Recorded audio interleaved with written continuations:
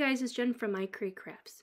In today's video, I will be showing you step by step how to create these customizable makeup bags. I will leave all of the supplies I used listed below in the description box. If you haven't already, please hit that subscribe button and leave a thumbs up if you love this video. Now let's get started.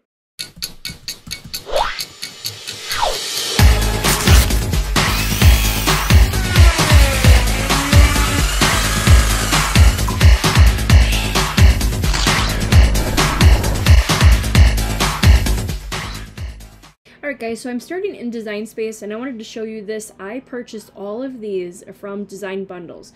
And when Design Bundles has their dollar deals, I always tell you guys, I bought this, all of these designs for 90 cents on Design Bundles a while back.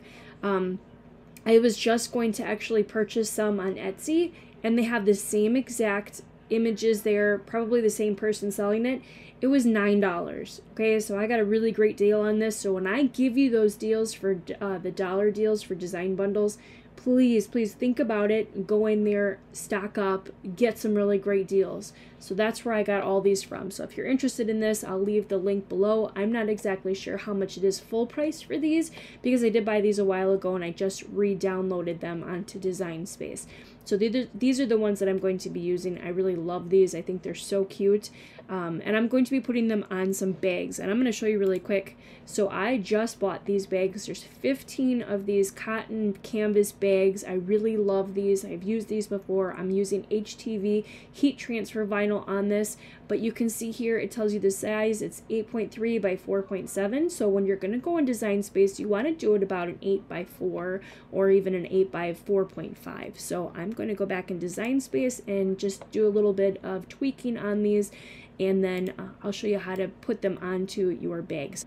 So the first thing you want to do is select it and then go up to the unlock box and change it to be 8 by 4 like that. So depending on how big your um, makeup bag is, is how big you want to do it. I don't want to go any bigger than this. I actually could just shrink it down a little bit that it's not that big, but I really like how this looks. And you can see on the side here that if I was to cut it out right now the way it is, every single piece would cut out individually. So it's not going to cut out the way it looks. So I always go to the attach button. No matter what, that's what I do. So this one is finished. I really like this one. This one's pretty cute too. So I'm going to do the same thing. Just go to the unlock box and then change it to be an 8x4.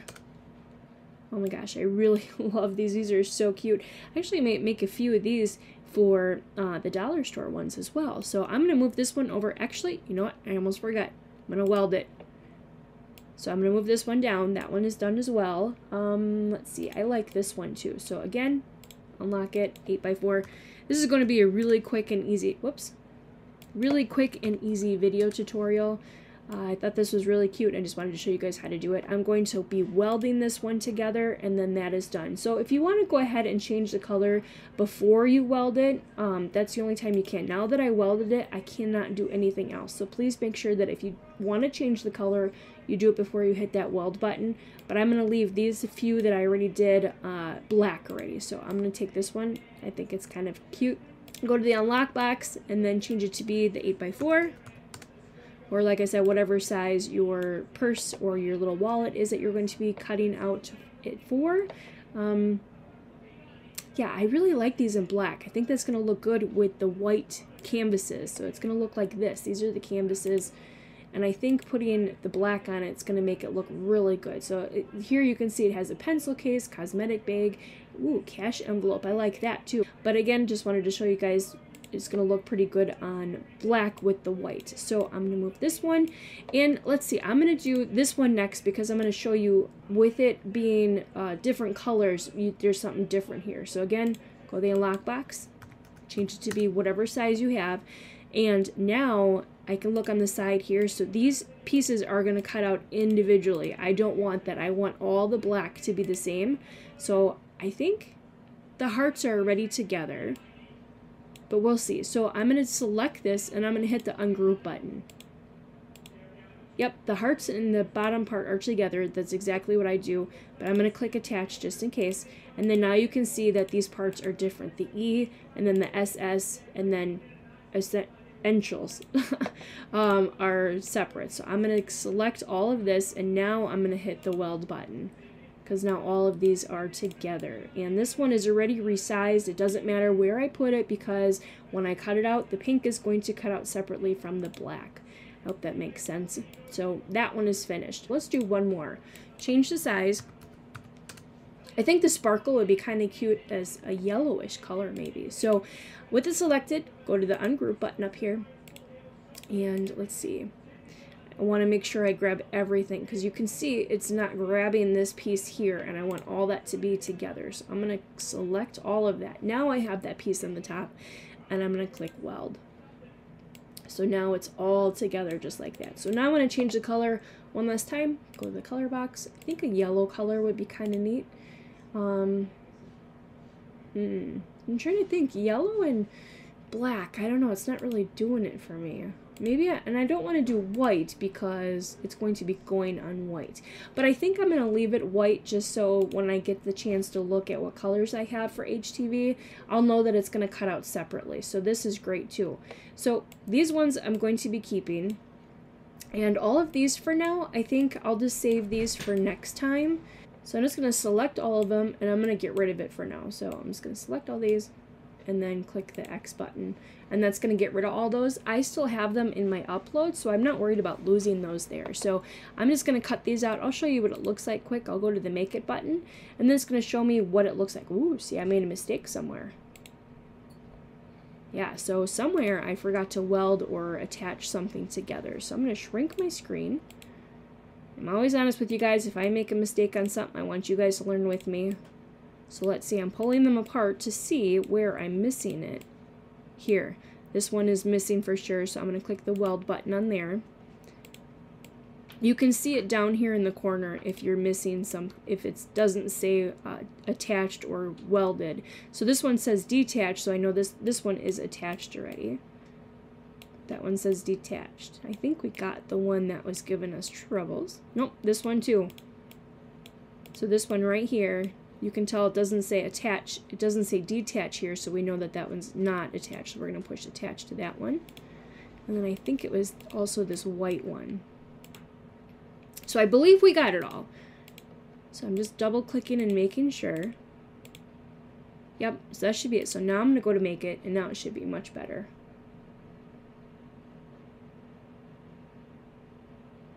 Perfect. I think that did it. All right, that's great. So this is how everything is going to cut out. These are all my different colors that I have on the side here.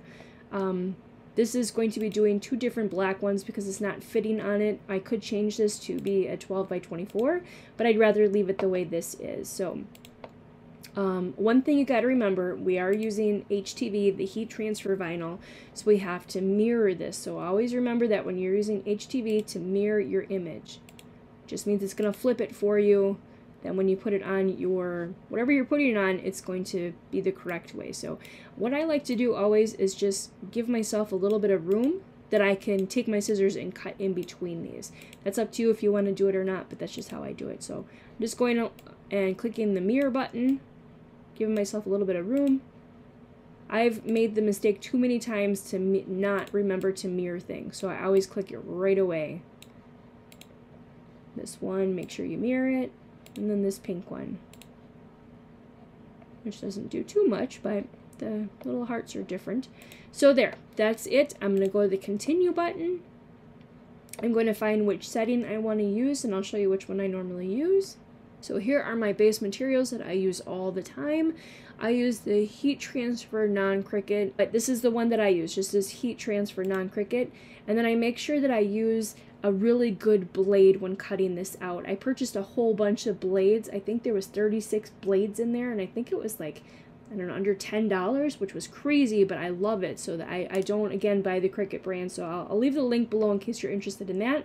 And then it's also telling you make sure your mirror is on, which we did, and then also put the material face, uh, the shiny side down. I forgot that way too many times as well. So I always mirror and shiny side down. So I'm going to cut this out, I'm going to weed it out, and then I'll show you the next step. I'm going to be using my heat press. I absolutely love it. If you don't have one, I would highly recommend it. I had the iron and I had the easy press.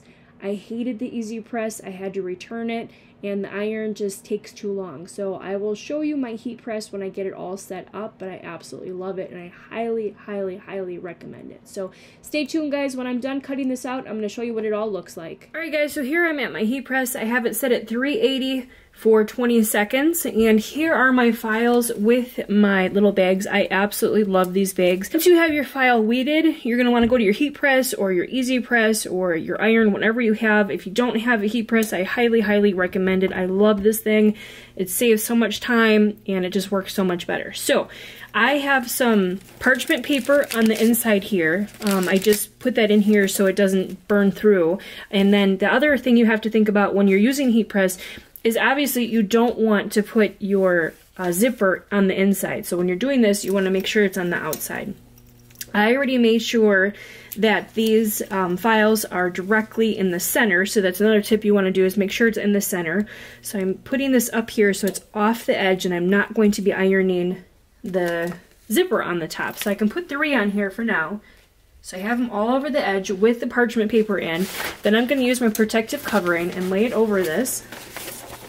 And then I'm to press it for the 20 seconds on medium pressure. Okay, so now it's all finished. I'm just to pull this up, take off my protective covering, and this is uh, a hot peel, so I'm just going to peel this off while it is still hot. So there, this turned out perfect. So here's the first one. I'm going to be very careful when you work with the zipper because that's going to be hot too, but I'm just taking my parchment paper out that I can put it in the next one. So there it is. If you wanted to do something on the back, you most definitely could, but I'm just going to pull these ones off really quick as well. And I'll show you what these look like. If it does come up for whatever reason, you can put it back on there for a couple more seconds. So here's this one. This is the HTV, the glitter HTV, and I love this stuff. I worked with this before, and I absolutely love how it turns out on here. So again, it's hot peel. So just like that, and then also the parchment paper on the inside. So I'm to finish these up, but I absolutely love how they look. Here's some other ones. But first, makeup. And then I have Makeup Addiction. So all the ones that I created, I have a whole bunch here. I actually have some that I'm going to show you quick that I bought from the dollar store. Um, and they are just as cute. I made these before. Um, this one says, but first makeup, and it's purple to match the purple. And then this one says Hello Gorgeous with the eyes and the eyebrows. I thought that was really cute to do together. So it's the same process. You want to make sure that you're not heating your zipper and that you want to make sure you have something protecting on the inside. So I'm going to finish this up and then I'll show you what they look like when they're all done. But if you like this video, please give me a thumbs up and hit that subscribe button if you're not subscribed already. I love making these videos. I love hearing from you guys. If you like these videos, let me know if there's something you want me to do. I will make any kind of video you guys want. I'm going to be selling these at my craft fair. I'll let you know how that goes. Um, but I'm really excited to finish this up. So I'm going to finish this and I'll show you what they all look like. So here's how they turned out after I was finished pressing on the HTV. I love how these turned out and how easy and inexpensive they were to create. I'm excited to sell these at my upcoming craft show and at the stores that I am currently selling in. I hope this video tutorial helps you out and you create these yourselves. Please hit that subscribe button if you haven't already and leave me a thumbs up and a comment below. Happy crafting everyone!